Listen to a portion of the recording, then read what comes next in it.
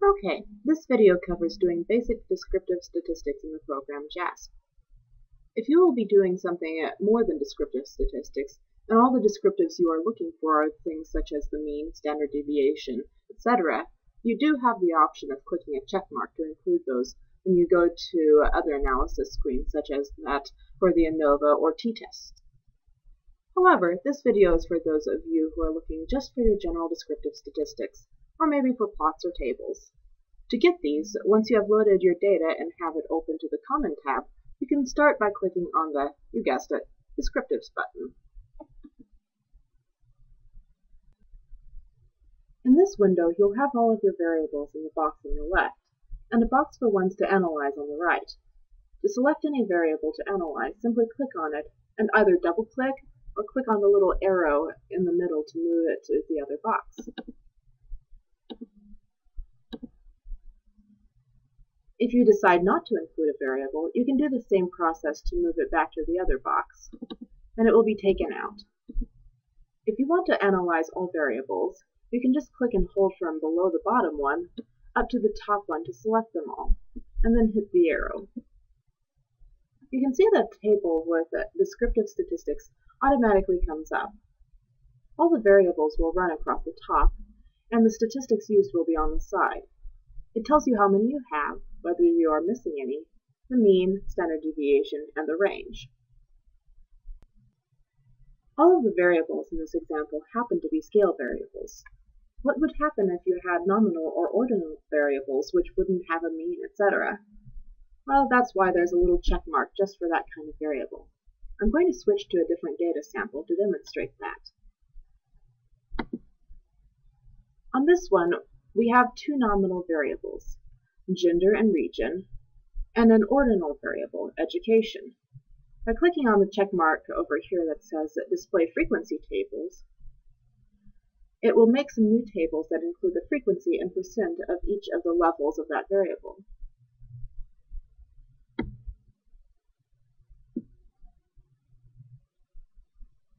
For gender, you now see how many females, how many males, and how many total there are in both counts and percents.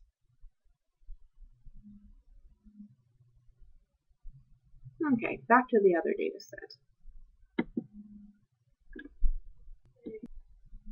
If you want more descriptive statistics than what you have already showing on the table, just go over to the little button that says Statistics and click on it.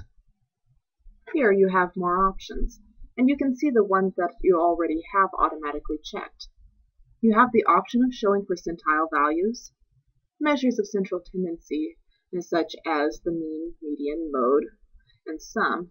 You also have the distribution uh, with skewness and kurtosis values. And then you have dispersion, which allows you to show standard deviation, variance, range, minimum, maximum, and the standard error of the mean.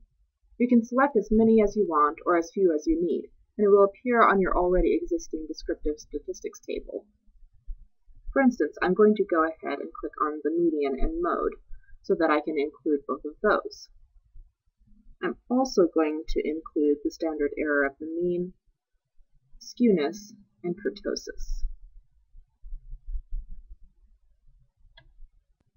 Now for plots. Often it helps to view plots of your data to get a better picture of what is happening. To view plots for your data, all you have to do is click the check mark in Display Plots. You can now look at a plot for each of your variables.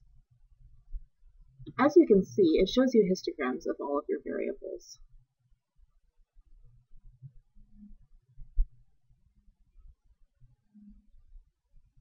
You can see that in this data, each variable is normally distributed. If you decide that you don't want the plots, though, or want to hide them during another analysis, simply uncheck the box and they will disappear. You can also show correlation plots. It shows the correlation between each pair of variables, starting with a histogram of one variable, followed by a scatter plot for each other variable. Looking through, you can get an idea about of how each one relates to each other variable.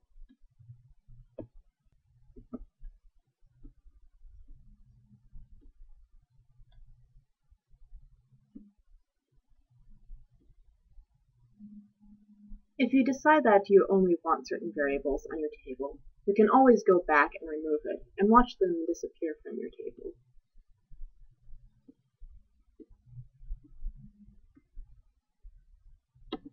As long as you can see your table.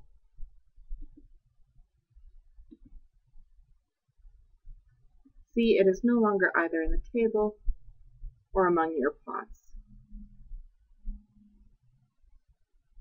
The same can be said if you decide later that you want more than you initially had, and either forgot to include one or didn't think that you needed it and then changed your mind.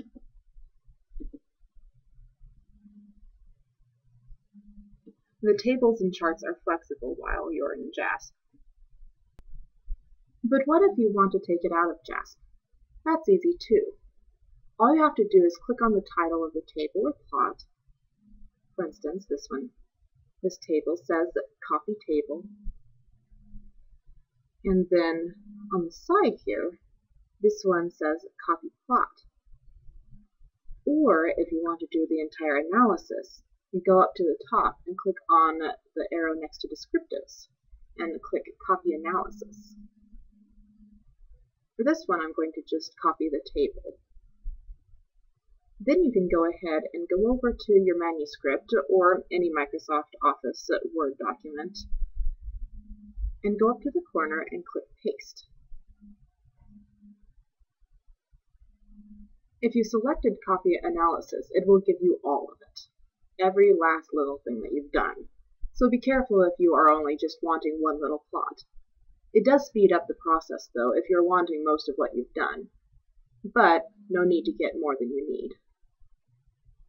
Thankfully, JASP has designed its tables so that it's already almost APA ready. This speeds up the process by quite a lot. But what if you want to make several different tables? How do you go about that uh, if changing buttons uh, changes the chart in JASP?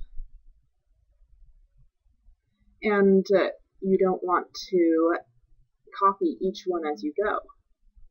If you click on descriptives again, it will reproduce all of the current analyses. At first, the only noticeable thing is that the old analysis is now gray, while the new one is uh, white, like the one before that.